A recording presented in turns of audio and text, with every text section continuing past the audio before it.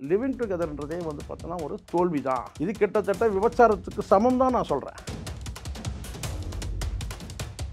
இவங்க தான் என்ன செஞ்சேன்னு கேட்டால் ஒரு தெய்வீக தம்பதிகள் மாதிரி இவங்க வந்து இவங்க போட்ட ஆட்டம் கொஞ்சம் நெஞ்சம் கிடையாது. அதுவும் அவன் இருக்கான் பாருங்க அந்த பப்ளு.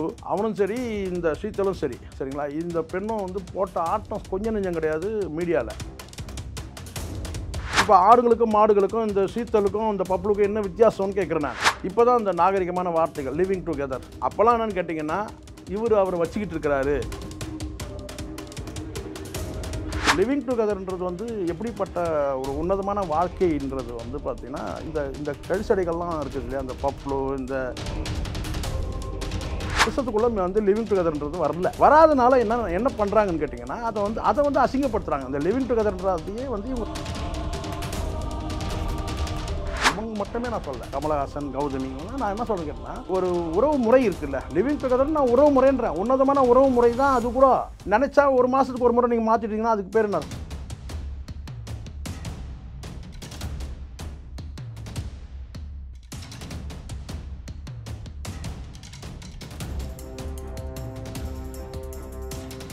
ரியல் ஒன் மீடியா நேயர்களுக்கு வணக்கம். நான் உங்கள் கிருஷ்ணா. இன்றைக்கி நம்ம கூட நேர்காணலில் திரு சேகுவார் அவர்கள் தான் இணைஞ்சிருக்காரு. வாங்க அவர் கூட பேசலாம்.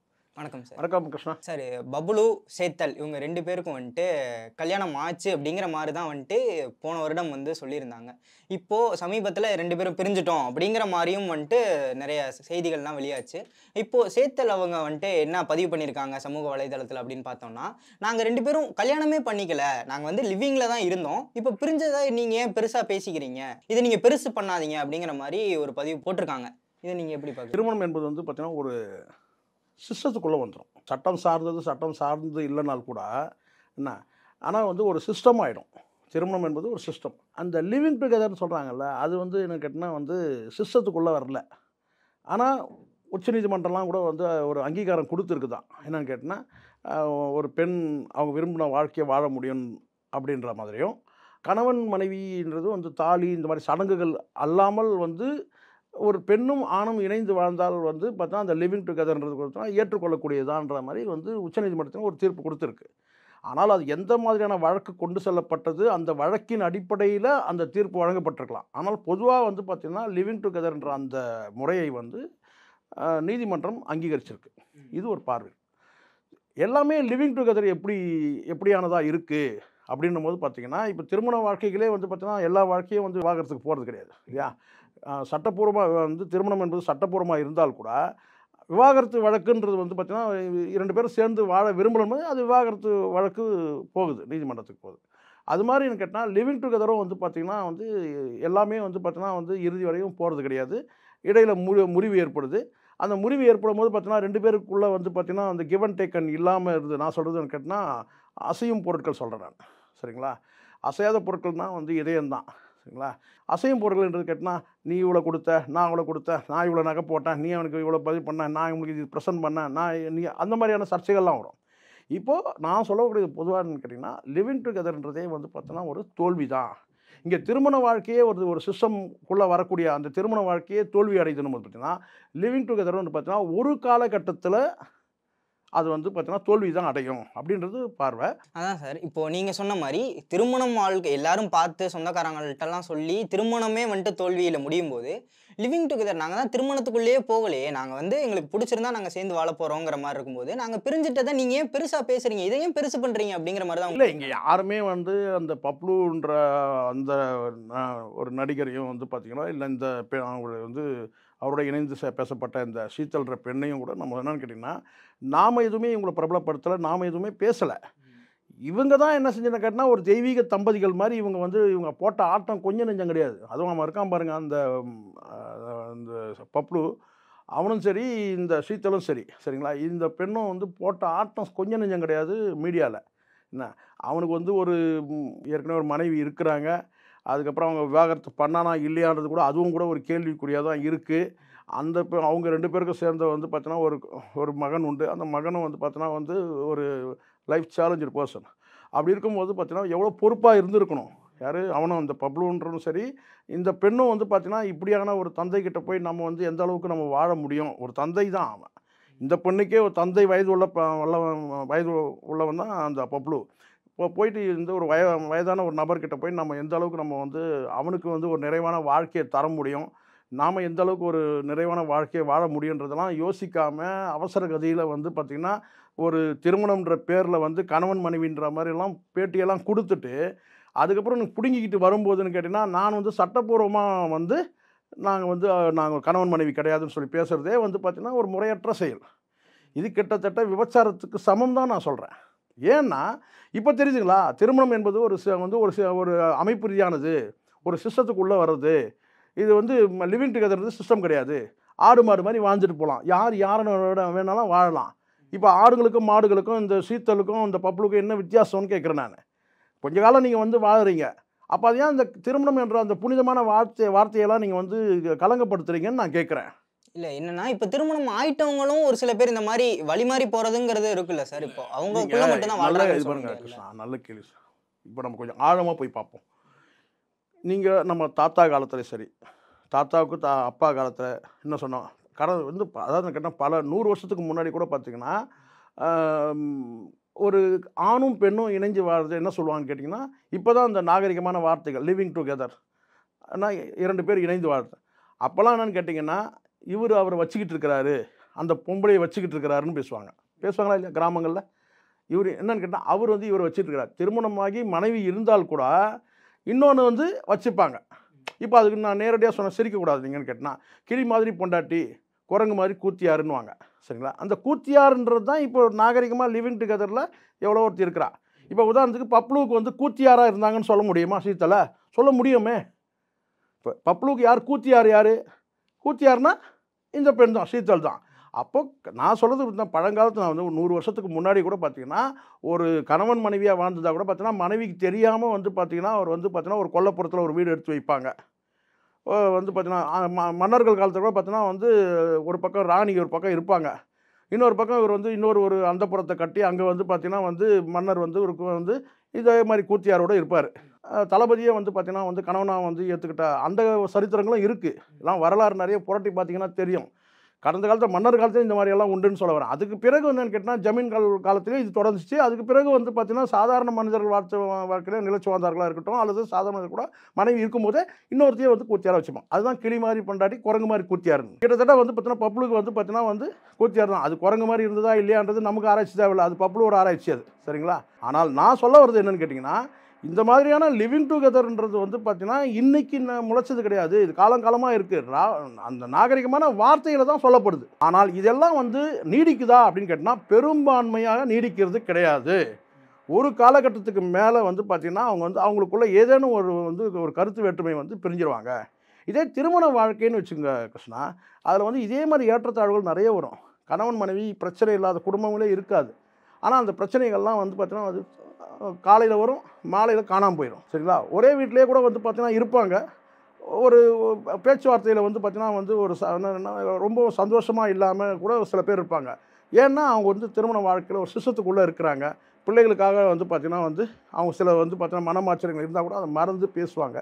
சாதாரண குடும்ப ச- ஆனால் யாரும் வந்து பார்த்தீங்கன்னா பிரிஞ்சு போகணும்னு நினைக்க மாட்டாங்க. கணவன் மனைவி வந்து இந்தந்த காரணங்களில்.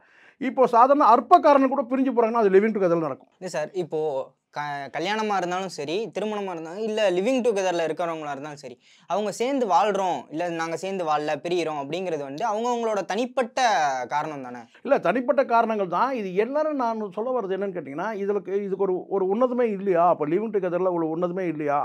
தனிப்பட்ட காரணங்களில் தானே அவங்க பிரிஞ்சு போகிறாங்கன்னா இதெல்லாம் தாண்டி லிவிங் டுகெதர்லேயே வந்து பார்த்தீங்கன்னா உன்னதமான வாழ்க்கை வாழறவங்களாம் கூட இருக்கிறாங்க. நான் குறைச்சி அதை கேவலப்படுத்தி பேசணுன்றது அவசியம் கிடையாது. எனக்கு- எனக்கு அந்த மாதிரி எண்ணமும் கிடையாது. பெரும்பாலுமான பெரும்பான்மையானவங்க வந்து பார்த்தீங்கன்னா இந்த லிவிங் டுகெதர் வாழும்போது பார்த்தீங்கன்னா நம்ம வந்து சட்டத்துக்குள்ளே இப்போ கடந்த காலத்தை நீங்கள் எடுத்துங்க. இப்போ கௌதமி வந்து பார்த்தீங்கன்னா வந்து திருமண வாழ்க்கை ரெண்டு முறை வந்து தோற்று போயிடுச்சு. யாருக்கு? ம- கமலுக்கு. தெரிஞ்சே தான் அவங்க வந்து பார்த்தீங்கன்னா கமலோட வந்து வந்தாங்க கௌதமி. ஆனால் வந்து சட்டப்பூர்வமாக திருமணம் பண்ணிக்கல. லிவிங் டுகெதர்ன்ற அந்த வாழ்க்கையை வாழ்ந்துட்டு அதுக்கு பிறகு அவங்க வெளியே போகும்போது என்ன சொன்னாங்க கேட்டால் கமலோட நடவடிக்கையை வந்து கொச்சப்படுத்தி வெளியே வந்தாங்க. கமல் யோகியன் நான் சொல்லவே இல்லை. ஆனால் ஏற்கனவே ரெண்டு திருமணத்தில் வந்து பார்த்தீங்கன்னா திருமணம் சிஸ்டத்துக்குள்ளேயே அந்த சிஸ்டத்தில் அமைஞ்சிருக்கிற திருமணத்திலேயே வந்து அவன் காலியாக வந்து இரு வாழ முடியல.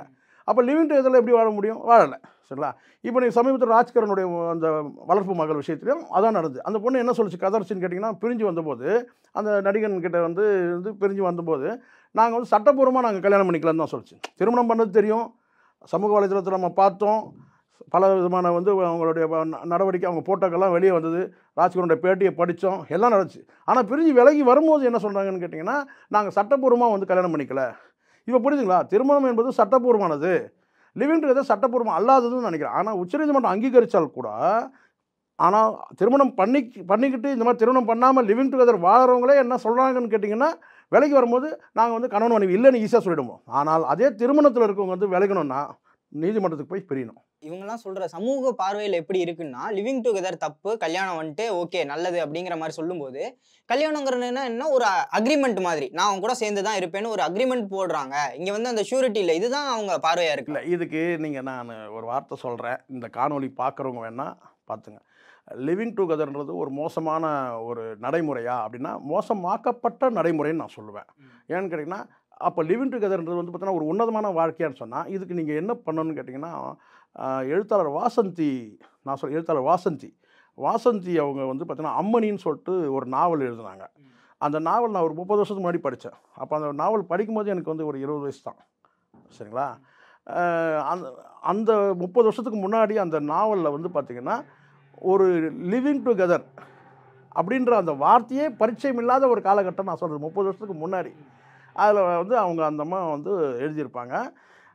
அந்த அளவுக்கு ஒரு லிவிங் டுகெதர்ன்ற அந்த அந்த உறவை வந்து ஒரு உன்னதமாக காட்டியிருப்பாங்க. ரொம்ப சுருக்கமான ஒரே லைன் என்னென்னு கேட்டினா மனைவி வந்து ஒத்து போகாமல் வந்து வேற ஒரு திருமணம் பண்ணி கண்காணாமல் போயிடுவாங்க கணவனுக்கு ரெண்டு குழந்தைங்களை வளர்க்கணுன்ற கட்டாயம். வேலைக்காக ஒரு பெண்மணியை கொண்டு வருவார். அந்த வேலைக்காக கொண்டு வர பெண்மணி வந்து பார்த்திங்கன்னா இவர் அதிகமான உரிமைகளை அவர் எடுத்துப்பார் அந்த பெண் கிட்ட. ஆனால் தாலி கட்ட மாட்டார்.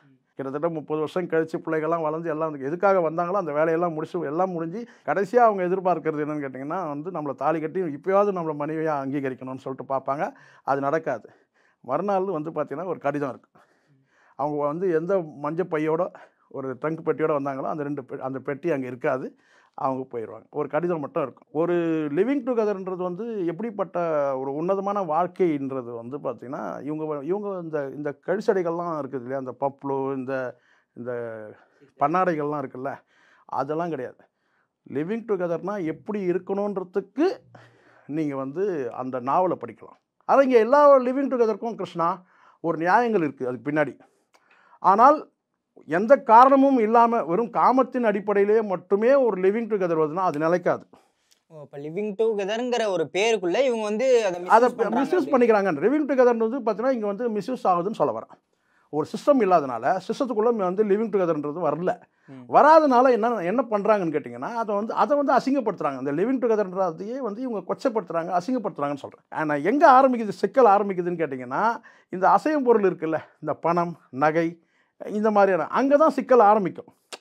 அங்கேருந்து ஆரம்பித்து பார்த்தீங்கன்னா அங்கே வந்து பார்த்திங்கன்னா அந்த அசையாத இதயத்தை கூட அசைச்சிரும்னு சொல்ல வரேன் அங்கே தான் தோல்வியே தொடங்குது.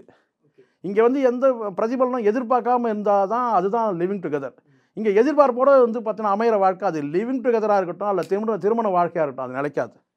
நான் உனக்கு எவ்வளோ கொடுத்தேன்? இதை கணவன் மனைவின்ற அந்த சிஸ்டத்துக்குள்ளே வரக்கூடிய வாழ்க்கையில் வந்து பார்த்தீங்கன்னா இங்கே பணமும் பொருளும் உண்ணுது என்னதுன்ற சண்டையே வராது கிருஷ்ணா. நீங்கள் பாருங்கள் என்ன. எந்த இடத்துலையாவது வந்து ஆமாம் கணவன் மனைவி வாழ்க்கையில் வந்து பார்த்தீங்கன்னா என் பணம் உன் பணம் எங்கேயாவது நடக்குமா? இருக்கா அது மாதிரி பேச்சு. ஆனால் லிவிங் டுகெதரில் நடக்கும். அப்போ இந்த சீத்தல் பப்ளு இந்த தம்பதிகள்ல வந்து இதுங்க இன்னும் பண்ணாடைங்கன்ற நான். பண்ணது தப்பு தான் பண்ணது தப்பு இல்லை பண்ணாடைங்கன்ற ரெண்டுமே பண்ணாடைங்கன்றேன் ஏன்னா அந்த உறவை சார் நான் திரும்ப நான் சொல்கிறது தான் சார். இவங்க மட்டுமே நான் சொல்ல. இந்த இது மாதிரி இன்னும் கமலஹாசன் கௌதமி நான் என்ன சொல்றேன்னு கேட்டேன்னா ஒரு உறவு ஒரு உறவு முறை இருக்குல்ல. லிவிங் டுகெதர் நான் உறவு முறைன்றேன். உன்னதமான உறவு முறை தான் அது கூட. ஓகே. அதை நீங்கள் வந்து கொச்சப்படுத்தி கேவலப்படுத்தாதீங்கன்றேன் நினச்சா ஒரு மாதத்துக்கு ஒரு முறை நீங்கள் மாற்றிட்டீங்கன்னா அதுக்கு பேர் என்ன அதுக்கு பேர் என்ன? அப்போ அந்த லிவிங் டுகெதர்ன்ற அந்த உறவு முறையை மாறி என்னன்னு கேட்டிங்கன்னா இரண்டு பேரும் திருமணம் அதாவது கேட்டினா ஒரு அமைப்புறுதி இல்லாமல் இரண்டு பேர் இணைந்து வாழ்றது தான் அந்த லிவிங் டுகெதர் அதை வந்து நீங்கள் கேவலப்படுத்தாதீங்கன்ற நான். நினச்ச போக்கில் வந்து நீங்கள் ஆளை மாற்றிக்கிட்டே இருக்கிறவங்களாம் லிவிங் டுகெதர் சொல்லிடலாம் நீங்க சொல்ற கருத்தை இப்படி எடுத்துக்கலாமா? லிவிங் டுகெதர்னா ரெண்டு பேரும் புரிஞ்சுக்கிட்டு ஒண்ணா வாழ்றதுங்கிற மாதிரி நீங்க சொல்றீங்க. அப்ப ரெண்டு பேரும் புரிஞ்சுக்கிட்டீங்கன்னா ஏன் எங்க பிரிவு வருது அப்படிங்கிற மாதிரி அதுதான் நான். சொல்கிறேன் பிரியாமல் வாழறதான்ற நான். புரியுங்க. புரி அந்த புரிதலில் கூட பார்த்தீங்கன்னா வரும் முரண்கள் வரும். இங்கே எந்த கணவன் மனைவிக்கு நீங்கள் முரண்கள் இல்லை நீங்கள் நினைக்கிறீங்க. சின்ன சின்ன விஷயத்தில் முரண்கள் வரும். ஆனால் அது பேசி களையப்படும். நீங்கள் ஒரு சிஸ்டத்துக்குள்ளே இருந்தீங்கன்னா சிஸ்டமே இல்லாத போது தான் சார் ரைட் இனிமேல் இவன் சரிப்பட்டு வர மாட்டான் நமக்கு இது வேண்டாம். நம்ம வேற ஒருத்தையை பார்ப்போம். இந்த பப்புலு இருக்கானா இவன் போட்ட ஆட்டம் வந்து பார்த்தீங்கன்னா நடிகன்றதுனால இவனே பிரபலப்படுத்திக்கிட்டான். இவனே ஆப்பு மேலே ஏறி உட்காந்துக்கிட்டான் அவன் என்னன்னா வந்து நான் வந்து நாங்கள் ரெண்டு பேரும் வந்து பார்த்தீங்கன்னா ரொம்ப க்ளோஸாக இருக்கு ரொம்ப நெருக்கமாக இருக்கிற மாதிரி எனக்கு ஒரு பெரிய ஒரு எழுபது எழுபது வயசில் இவர் வந்து பெரிய ஒரு ஆள் மாதிரியும் ஆயக்கலையில் வந்து அறுபத்தி நான்கும் கற்றறிந்த ஒரு பெரிய வித்வான் மாதிரியும் இவரை காட்டிக்கிட்டு அவரோட போட்ட ஆட்டம் கொஞ்சம் நெஞ்சம் கிடையாது. அந்த பண்ணாடையும் வந்து சேர்ந்து இவனோட சேர்ந்து போட்ட ஆட்டம் கொஞ்சம் நெஞ்சம் கிடையாது. எல்லாம் போட்டு கடைசியில் வந்து பிரச்சனைன்னு வரும்போது கேட்டிங்கனாக்கா நாங்கள் ரெண்டு பேரும் வந்து பார்த்தீங்கன்னா வந்து சட்டப்பூர்வம் நாங்கள் ஒன்று கல்யாணமே பண்ணிக்கலன்னு சொல்லிட்டு பல்ட்டி அடிச்ச கதெல்லாம் உண்டு. ஸோ இதெல்லாம் வந்து பார்த்திங்கன்னா வந்து ஏற்றுக்கொள்ளக்கூடிய கிடையாது. அதுக்காக நீங்கள் வந்து வந்து ஒரு லிவிங் டுகெதர் ஒரு உன்னதமான உறவு தான் அதை நீங்கள் கேவலப்படுத்தாதீங்க கொச்சப்படுத்தாதீங்க. அப்படின்றது தான் என்னுடைய பார்வை. ஓகே சார் தொடர்ந்து பேசுவோம். பல சுவாரஸ்யமான கருத்துக்களை பதிவு பண்ணதுக்கு மிக்க நன்றி சார். நன்றி கிருஷ்ணா.